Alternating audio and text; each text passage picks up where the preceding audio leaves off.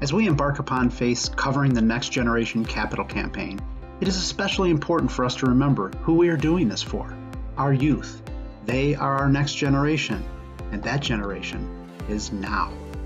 No one knows that better than our Director of Education and Youth, Joel Zander. A lot of people think of youth as the church of the future. They are also the church of right now. And, and we can see that in, in the things that they do and in the way that they work.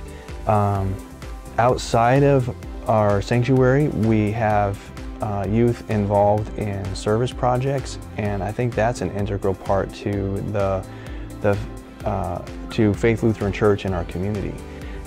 Whether it's a painting project at the National Youth Gathering, cooking breakfast for our congregation, or bringing meals to our firefighter first responders, our youth care about our community and our congregation, and we care about them.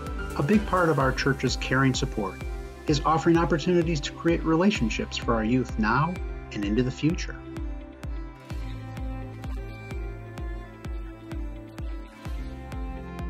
That feeling of community is felt by many of our youth, including Lily Furline.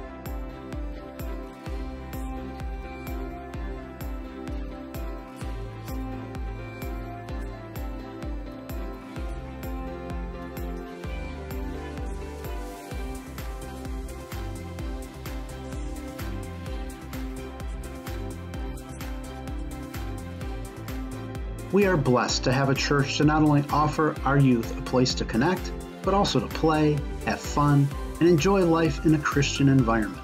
And for us to continue to offer these opportunities to them, we need quality, safe facilities. I think that having that kind of thing is, is going to be uh, a new life sort of mentality to our youth. And um, but you know, in the long run, these things that we're going to work on are going to make these places, a parking lot usable, the pavilion usable for what we can do um, in our youth activities, in our youth program.